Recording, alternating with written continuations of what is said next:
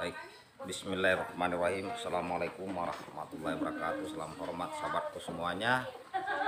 Kali ini saya akan Kita akan melihat-lihat. Ya. Uh, Tetangga MPS Ibu-ibu di sini ya. Dalam Ini ibu-ibu militan. Dalam mengeksekusi Masakan. Ya. Nah, Ini ada bunda nih sip ya. Nih bunda nih. Kita mau mau lihat.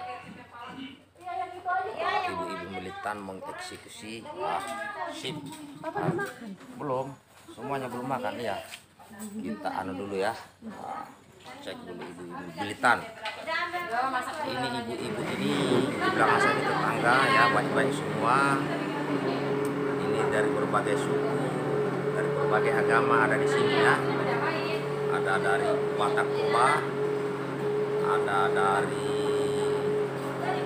Sunda, Jawa, Bugis, Padang, nah, di sini. Jadi ini masak di tetangga ya dalam rangka syukuran hari ini.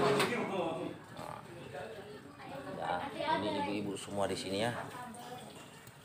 Jadi tadi, nah ini militan semua. Kita lihat masakannya semua ya. Kita lihat masakannya ibu-ibu ini. Kawan, ya.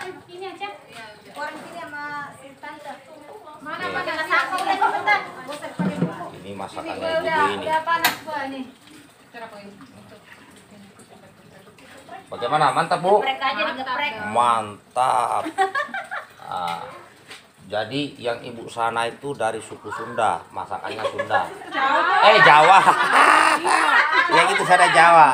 Yang ini Batak Toba ya. Sip, ini tetangganya Opung eh, Pak Luhut Besar Panjaitan. Ya, nih. Iya. Nih. Terus ibu ini Bugis. Ya, Bugis nih, makanya masakannya Bugis nih. Digeprek aja pun itu. Ya. Nah, yang banyak Jawa nih, ibu ini Jawa. Siapa lagi Sunda tadi? Mana Sundanya? Oh, itu sana Sunda ibu itu ya. Jadi masakannya Sunda. Jadi di sini kawan, ke depan mudah-mudahan ada rezeki kita mau lomba memasak per wilayah. Iya kan? Inilah ini tetangga baik-baik semua ini. Kita lihat gorengannya ini. Lihat gorengannya. Masakannya Bu Yuli ini Ayam goreng. ayam goreng ibu Yuli poltat si poltat apa poltat poltat nah itu ya. Ini darurat memang. Masakannya ya kawan. Betawi. Wah, mana Betawi? Ini ah ini di Betawi rupanya nih jadi nanti ada masakan Betawi juga ya kan? Jadi macam-macam nanti rasanya ini masakan ini Jadi nanti yang tidak datang ke sini hari ini wah rugi lah. Kita akan coba berbagai masakan. Enggak sih itu orang Betawi, orang Jawa, orang Medan, aku orang apa? Betawi Jawa atau Betawi? Iya. Sama Rehan itu. Ya kan? Bingung ini. Bingung karena campur aduk dah ya. Inilah kondisinya kawan, situasinya. Ya, Ibu-ibu ini ya dari Padang ya, Ibu Nur. Jadi inilah kawan bahwa di dalam kehidupan itu kita harus akur dengan tetangga.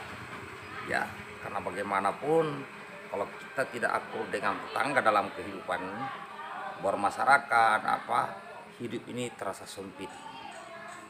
Jadi pesan saya kepada sahabatku, kalau saya sih di mana-mana saya berada pasti akur dengan tetangga ya.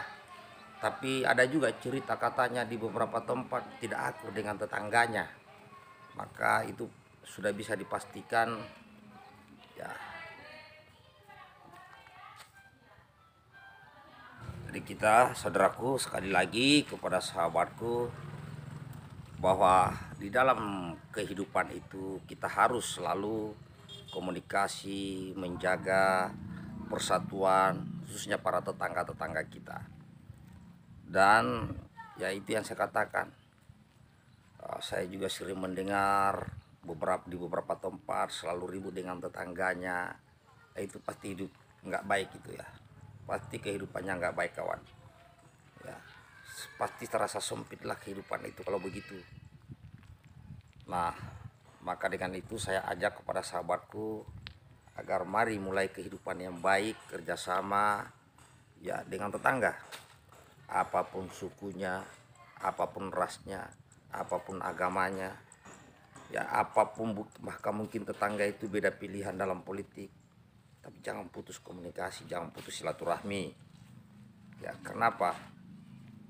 Nah, kalau kita ribut dengan tetangga ya kita akan susah ya, susah eh, dalam menjalani hidup ini. Maka saya mengajak sekali lagi mari kita bangun komunikasi yang baik dengan tetangga kita kawan ya.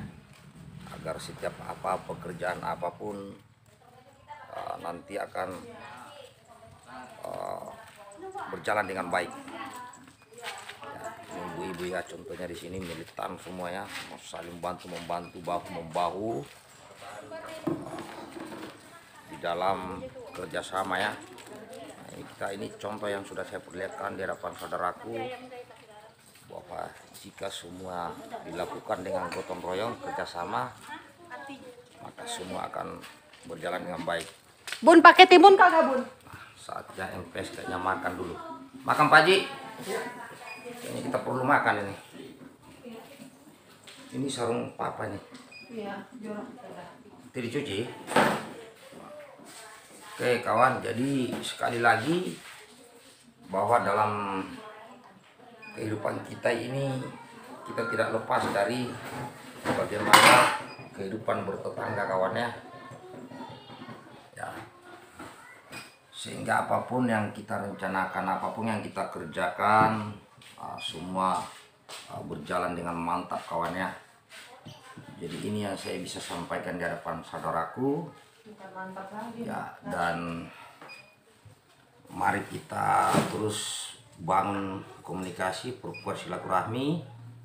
Dan di sini adalah kegiatan hari ini adalah syukuran ya, syukuran masuk rumah MPS sama Bunda.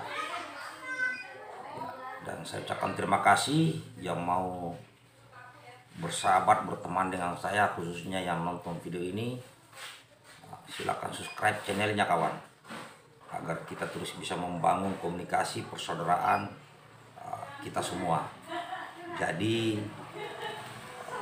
inilah hebatnya kita membangun sebuah kekuatan keluarga di sekitar kita. Ya terima kasih tetap semangat kawan. Jaga persatuan Indonesia merdeka. Salam hormat buat semuanya. Assalamualaikum warahmatullahi wabarakatuh